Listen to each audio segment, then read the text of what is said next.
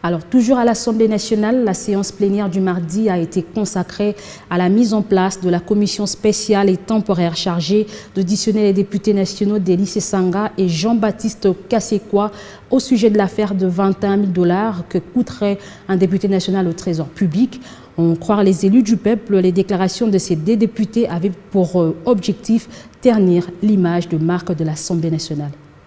Qui sont pour 10 jours Qui sont pour 10 jours Qui adopte la résolution? Oh, Toute la salle, toute la plénière. Merci, asseyez-vous. Qui sont contre la résolution? Il y a combien de contre? Deux. Hein? Deux, trois, quatre. Quatre contre.